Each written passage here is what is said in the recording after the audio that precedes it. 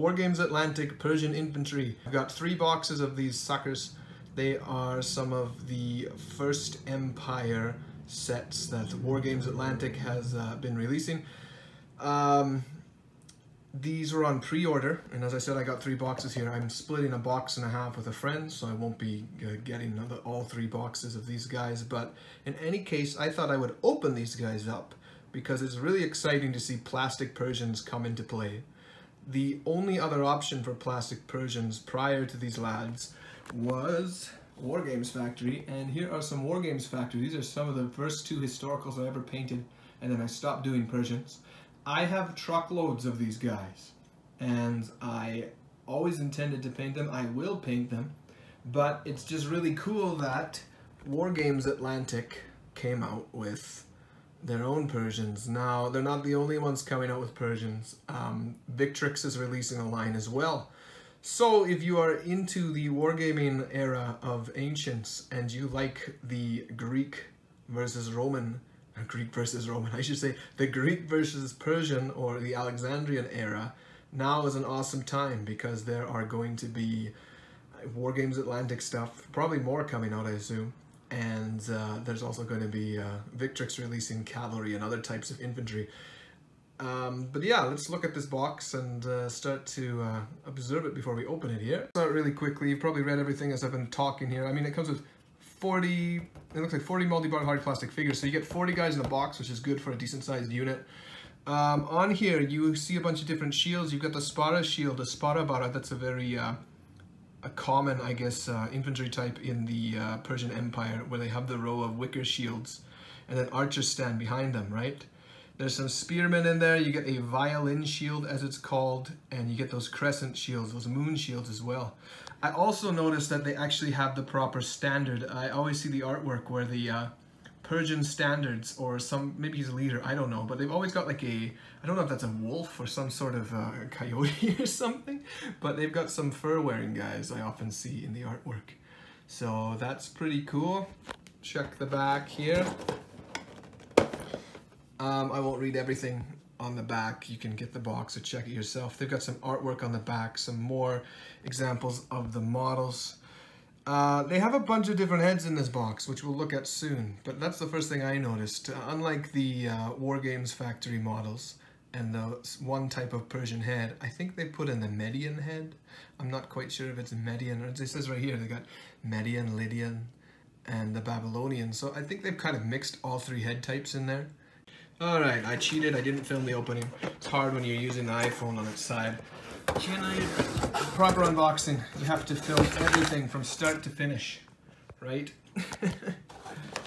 Alright, so it's well packed full of sprues. Um, there's no instruction manuals or bases with this, and that's very normal for a lot of uh, historicals I find. Sometimes you do get some little instruction booklet or some sort of guide, like Perry's Plastic will put in some flags and some color ideas. These guys have just put in sprues. Um, Perry's also have bases sometimes, but a lot of companies, they either have them or they don't. But these sprues, looking at them at first glance, all look to be identical. I'm just gonna see if that's the case. There are one, two, three, four, five. There's five guys per sprue, and I immediately noticed that you unfortunately won't be able to easily modify at least one guy. So there's going to be at least one archer per sprue that you kind of have to use, unless you chop off his arm and, and work with him, right? So that's one thing to notice. Let's see how many sprues in here if they're identical. There's one, two, three, four, five, six, seven, eight sprues. Eight times five is 40. So, okay. So there's no special command sprue. I assume that it's going to be on the sprue itself. But let's quickly take a look at all the different things on this sprue. Let's get a close-up on some of these heads. I'm already liking what I see. They're both upside down and right side up, but... So we got a guy without any headdress on. I'm going to call him a Babylonian. Here I see what I uh, figure Persians would have. I think they call them tiaras in that time, that kind of like floppy hat thing. That's what I, I, I think of Persians when, I, when I'm looking at uh, Persian miniatures. That's what uh, I think a lot of Victrix models have and Wargames Factories, uh, Wargames Factory has. Uh, I'll flip, I'll follow them on the right side up here. More unarmored heads, which I think is really awesome because not every guy might have a hat on. And then at the end here, I'm assuming these are Median. I don't know if these would be Persians or Medians, but this kind of cap thing, it's kind of what I, I, think of when you look at the later Persian Empire, the Sassanids. I don't know if I'm even pronouncing that right. It's Sassanid. I keep saying Sassanid, but whatever. and then you got a guy with this massive helmet on here. I think that some guys would have armor. I'm not sure how many of them would have it. Flipping to the other side here, again, we have another guy with that kind of cap. Uh, I'm pretty sure that's in the Achaemenid uh, wall reliefs where they have both kind of hats. So maybe it's not just a Sassanid thing. Maybe they had it throughout. We have this guy who has some sort of pelt on. I'm going to assume it's a wolf. I'm not sure, but I think that's awesome that they've got the proper guy with a, uh, a wolf hat on. Because that that's uh, something that I haven't seen in the other Wargames Factory. They just gave you a, a, a flagpole, I think. And then we've got these guys here which have facial covers. And uh, yeah, that's a typical Persian look, I think, for a lot of wargamers. We've got some basic crescent shields here.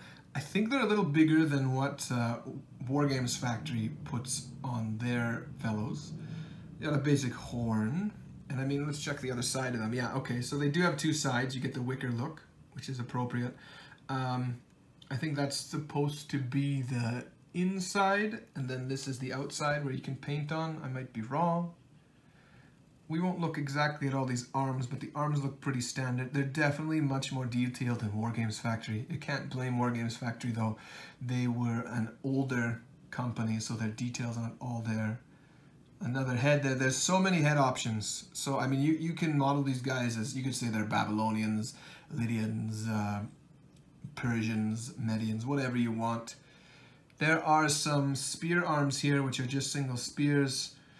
Uh, I'm not going to pop any off yet. I just want to let you guys see. They're kind of the skinny spears. I'm not a big fan of skinny spears, but it's probably okay because if you make them like Sparabara, you don't need that many spears. You just want enough for the unit to go through. You got another spear. There's a two-handed spear here, so you don't have to give him a shield. You can just make him a two-handed. Got a guy drawing an arrow here. Here's the body size. It looks like we've got some sort of, I'm not going to say it's scale, but some sort of uh, webbed or scale armor. I guess it depends how you paint it. We've got the open quiver there. And these quivers are also in the other Wargames Factory and other other sets I've seen, and the metal. So this quiver is, is accurate in depiction, I think, to what the Persians are depicted as having. Let's look at this archer here. Um, and he's shooting off in the air. He's going to shoot a long shot, I assume. He's got a sword on his right side. Is that his right side? Is that a sword? Yeah, he's got like a dagger or a sword there. I don't know if they wore it on their right side or their left side. I think they may have. It's something the Romans did. The Persians may have as well. If, if, if I, I have to research that, but I kind of vaguely remember reading something that they wore kind of like a dagger or a weapon on their right side. I think uh, it's Herodotus or some someone who mentions that. There's so many heads in this pack. That's awesome. You're not just gonna go with like one head in this set if you want more. There's tons. So here's some violin shields, and I already know that these violin shields, they are bigger than what Wargames Factory puts in. Uh, nonetheless, I think they had probably different variants, so mixing them would be okay. Some more spears, another bow arm, so you can make at least, how many bows per sprue? you can make uh, one, two, there's two free bow arms that I'm counting here. And then there is a single um, bowman that's already pre-made. So in total you can make uh, 24. the math in my head's like, blah, blah, blah, slow on the math today.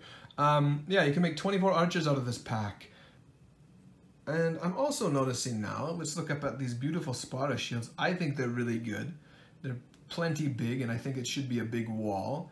But I'm noticing here now that there's only two of those per per sprue. So that's not bad because if you've got eight sprues here, you can at least make 16 guys like that.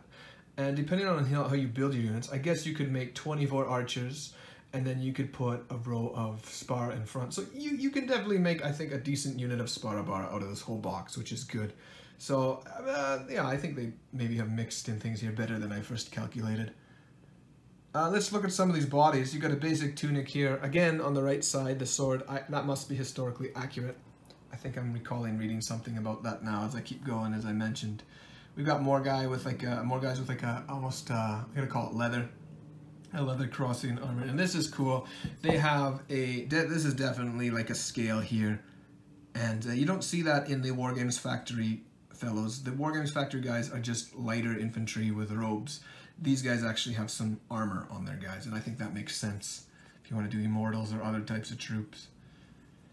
Um, that's essentially it on the sprue here and all the sprues are identical. Overall it's an awesome kit from the looks of it. Lots of different head options if you want to mix up your troops or make them look a certain way. If you don't want to do Sparabara you got plenty of options to do like other types of troops with different shields.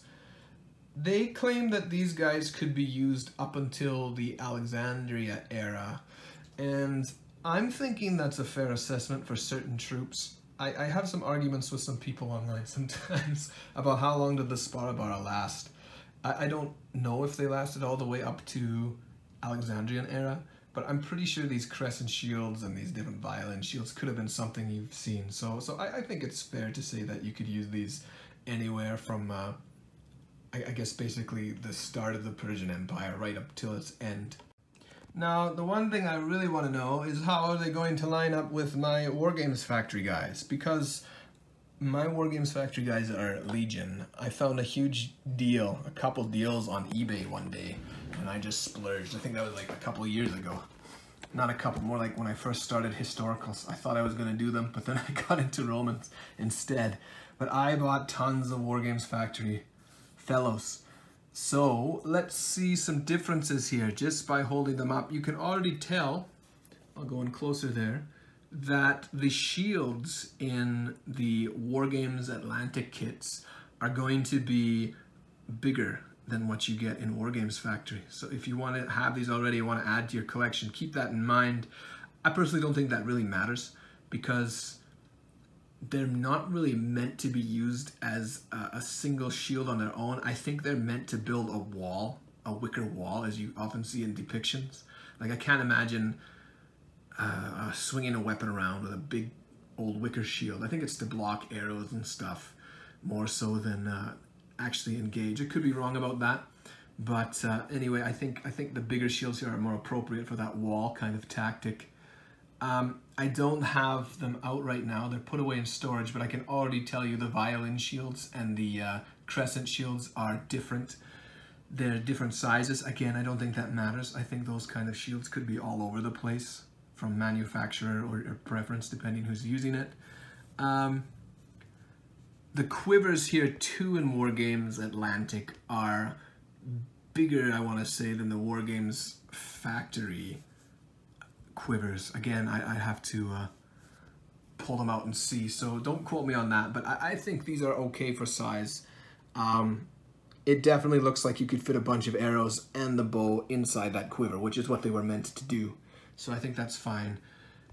These spearmen, though, do they have the balls on the end? The golden apple? Yes, they do. I should point that out. You see that there? A lot of the, um, the what are they called? The immortals are described of having these uh, apple, these golden apple bottoms on their on their spears. So yes, you can paint them gold or, or bronze or whatever, and uh, whatever color they were, I, I forget right now. But uh, yeah, you can make them into immortals. The bows on the, uh, surprisingly, I think the Wargames Factory lads are a, a bit more uh, fancy looking on their bows, and the bow that you get with these uh, Wargames Atlantic guys are not as fancy. But either way, I think both bows are good. Just wanted to show that there quick. All right, let's try and prop my phone up. All right, head size. I want to say they're almost dead on. Um, like if you look at that Babylonian head there with the Wargames Factory, they're so close to the head size. I would say you could almost interchange them. You could probably put these heads on the Wargames Factory guys or vice versa and you'd be fine. Let's look at another one here. Let's put this uh, Median head next to it. I won't do all of them, but... Oh, that's a decent, that's a good size. It might be a little bigger on Wargames Atlantic, but from a distance, I don't think you'd really notice. and these are meant to be bigger models. I mean, they're not small, and they're they're they're, they're, they're I'm not gonna say they're heroic uh, fantasy, but I think they're a little bigger than average on their on some of their proportions. But that's okay if you are using lots of Victrix and lots of Wargames Factory. You are okay with that, I think. Okay, so I use some. Uh, I'm not using anything to stick together that spearman's arm and um, he's kind of, I built him a little awkward just quickly. And I've got some blue sticky tack on the back holding up his head. But you can see here the size comparison when something's actually built that the um, Wargames Atlantic is slightly taller than the Wargames Factory. But proportion-wise, I, I would think that it's probably better. and um, size-wise, they're not that different, really. I mean, the heads are of similar size, as I said, it's just their height's a little different, and not everyone's the same height, so I think that would be okay. The only thing I didn't like about taking this off, though, was this spear. I absolutely hate skinny plastic spears. I love the thick Roman ones that come in the um, in the old Victrix models. I don't like the new ones. This guy here has a separate plastic spear, but the difference is that it's glued on badly there, I should say. it's my first model. Um, but these guys' hands are all open. That's the advantage with Wargames Factory. Despite them being older models, all of their hands are open. You're free to put any kind of spear you want into it. I will give them wire spears when I when I get around to doing them because, or, or thick plastic spears because I just hate these skinny things. Okay, so yeah, you can see here that uh, Wargames Atlantic has made an awesome product and I think it's going to look really cool when we start seeing more people paint all their Persians. I think personally for myself in Wargames Atlantic, I'm going to keep my Wargames Factory guys as the Sparabara. And because I'm only going to have um, a limited number of these Wargames Atlantic guys compared to my large uh, Wargames Factory lads, I think I'm going to make more, um, what would you call them, skirmisher units out of these and also build some alternative units or maybe just spearmen or maybe I make them the immortals or something like that so they don't have to have all of those uh, those uh, those archers behind them. They all are archers and immortals. Alright, so I think it's going to be an awesome kit. I definitely think there's more detail in the Wargames Atlantic plastics for just like curves and, and, and, and folds in the clothes and stuff like that. They paid a lot of more attention to, um, I think where the weapon's supposed to sit, different heads and stuff. So for a plastic set, I think they're going to be awesome. They will fit up nicely with Victrix because they are in a similar size range. And when Victrix comes out with their Persian plastics, it's going to be very interesting to get some and, and compare to all three here. So, alright, well, that's the unboxing for today. I want to thank you guys for watching and thank you for subscribing to this channel if you have. If you haven't and want to see more content like this, please subscribe and like this video. And we will see you next time. Have a good one.